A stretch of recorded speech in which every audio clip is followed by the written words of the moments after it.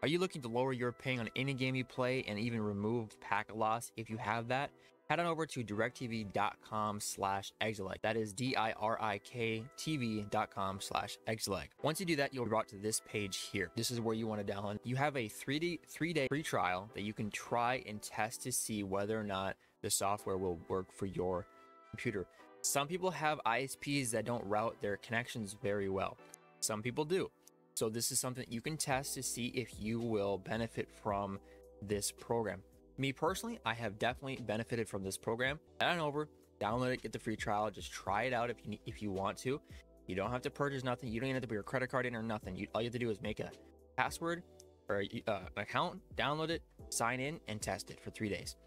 Now, once you have downloaded it and tested it, or once you have set it up and it has analyzed, you can go and pick a game. Which, if you do that, you click on optimize game. You have all of these games here, okay, and even other things like browsers and stuff like that. You have a lot of options, even streaming and stuff like that. Okay.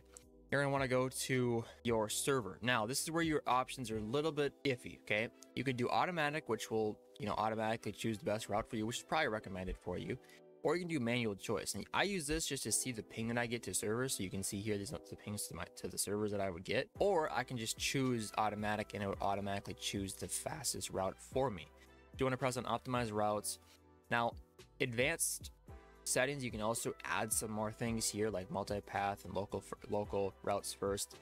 Um, and then you have these TCP routes and UDP routes. I personally would keep this default, don't change it. Um, and all you gotta do is press on apply routes and it will automatically apply the best routes for your connection. Um, you can use it for any game, any setting that you have.